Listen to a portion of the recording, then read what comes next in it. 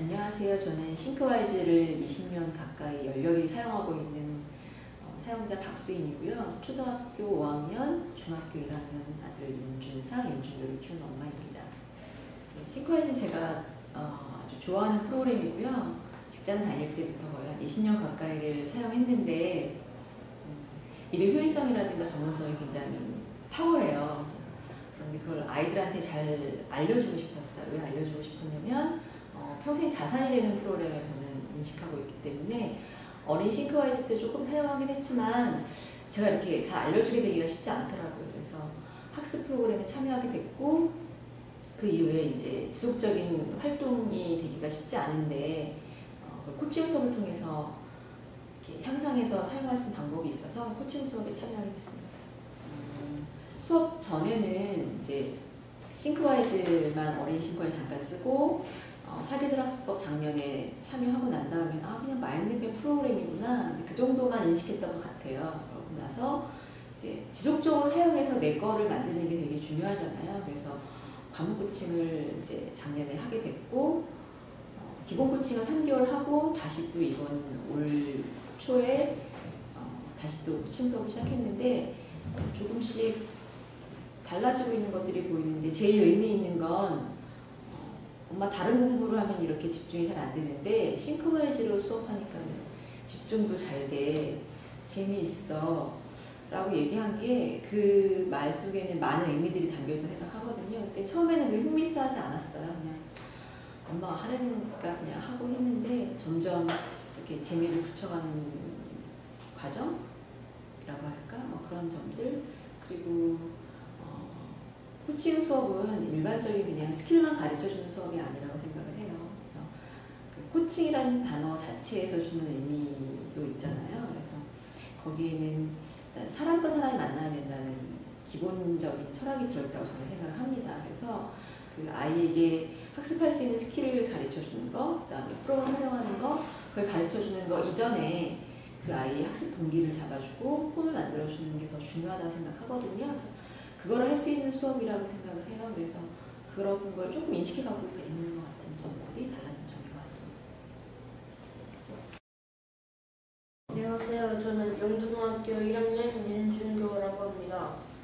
저는 어, 동생이 한 명 있고 뭐 엄마 아빠가 있는데 엄마 덕분에 이렇게 수강을 하게 되었고 지금은 재밌게 느껴서 이제 이걸 통해서 공부를 좀 열심히 해보려고 생각 중입니다. 어 먼저 때부터 엄마가 어린이 싱크아이즈를 통해서 뭐 랩핑도 해오고 뭐 약간씩 그걸 통해서 뭐 놀아보기도 하고 공부도 하라 그랬는데 점점 써봤는데 한 4학년 때까지 5학년 때까지 안 쓰다가 6학년 여름에 싱크아이즈 코칭 수업이 있다고 해서 그거를 2일 동안 들어보고 수강을 하게 되었는데 점점 재밌게 느껴지면서 이제 정식으로 수, 수강을 하게 되었습니다. 처음에 이 수강을 할- 하기 전에 뭐 이걸 통해서 설명을 듣는 단계가 있었는데요.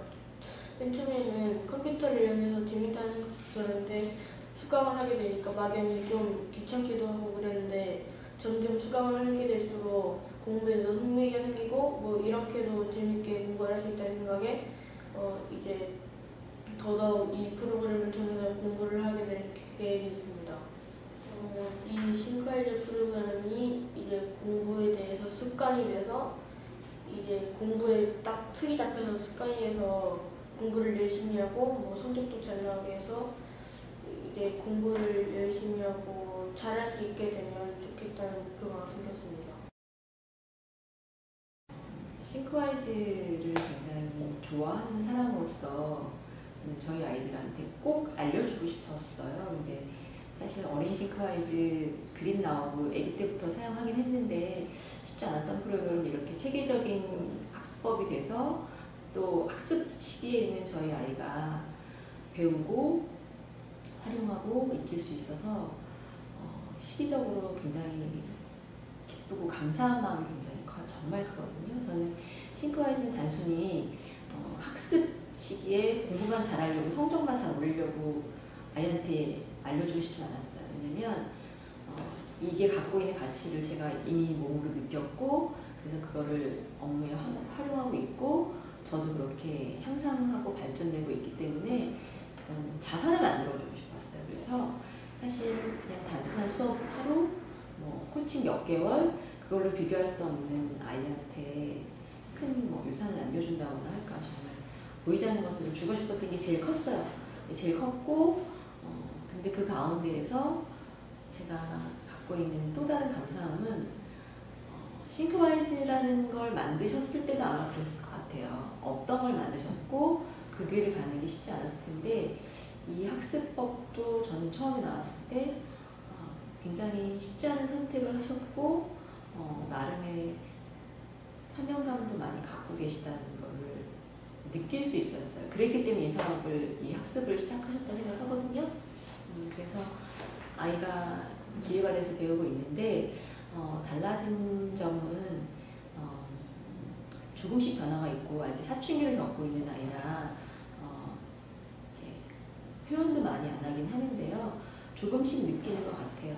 싱크와이 수업하면 뭐 재미있어, 다른 것보다 집중이 잘 돼 이런 얘기들을 하는데 그런 과정 속에서는 어, 더 말하지 않는 큰 의미를 느끼고 있다 생각하는데요. 어, 또 공부라는 게 그렇지만 일도 그렇고 어, 사람의 마음이 움직여야 되는 거잖아요. 그래서 마음의 움- 움직임을 줄 수 있는 선생님이 어, 일반적인 지시나 뭐 기술을 가르쳐 주는 게 아니라 코칭이라는 건 서로 상대적이라고 생각을 해요. 그래서 아이의 마음도 읽어주고 그 다음에 사춘기 때 누구 부모님한테 할 수 없는 이야기들도 많잖아요. 그런 이야기를 내가 정말 편하게 할 수 있는 나의 어, 이렇게 조력자, 나를 지지해주는 사람, 그게 이제 코칭 선생님이라고 저는 생각하고 있고요. 그 역할을 해주고 계셔서 또 감사하고 또 다른 아이들한테도 그런 역할들을 많이 하실 거라고 생각을 해요. 그래서 그런 부분들이 참 좋고 감사하고 어, 그러면서 조금씩 아이가 이제 체계적으로 되는 것 같고 사고하는 것 자체도 어, 나무만 보는 게 아니라 숲도 볼 수 있고 나무도 조금 시작해 가는 것 같아요. 뭐 교과서를 가지고 목차 매핑부터 시작해서 본다던가 그러니까 기존의 학습법하고는 다르죠. 빨리 가지는 않을 수 있어요. 근데 저는 그렇게 차곡차곡 가는 게 오히려 나중에 더 빨리 간다고 생각하거든요. 그래서 한 달 안에, 뭐 1, 2년 안에 뭐 아이가 성적이 많이 오를 거야. 뭐 그럼 좋겠지만 꼭 그렇게 시작한 건 아니기 때문에 좀 더 길게 갔으면 좋겠고 그 사이에서 하나씩 하나씩 좀 아이도 잘 느껴갔으면 좋겠고 그렇게 저도 좀 인내를 더 해야 되는 것도 사실 많이 느끼고요. 그런 과정을 통해서 접할 수 있었다는 것도 참 좋은 계기가 되었고 어, 그래서 나중에 아마 10년, 20년 뒤에는 저희 아이들도 싱크와이즈라는 걸 만났다는 걸 자기 인생에서 굉장히 큰 의미와 가치가 있었다고 생각하게 되기를 바라고요. 이렇게 좋은 프로를 만들어 주신 것도 제가 20년 가까이 쓰면서 감사한 점이었고 또 이제 저희 아이가 앞으로 또 평생 쓸 수 있는 어, 자산에 될 수 있는 학습법의 기회를 주신 것도 감사합니다. 더 많은 아이들에게 더 좋은 학습 많이 알려주시고요. 더 좋은 인재들 많이 만들어 가시는 길에 더 힘내시고 처음 만드셨던 그 마음과 사명과 소신감 잃지 않고 하셨으면 좋겠습니다. 감사합니다. 생각을 나누면 내가 있는 그곳이 곧 꿈을 만드는 공간이 됩니다. 생각이 실현되는 공간. 싱크와이즈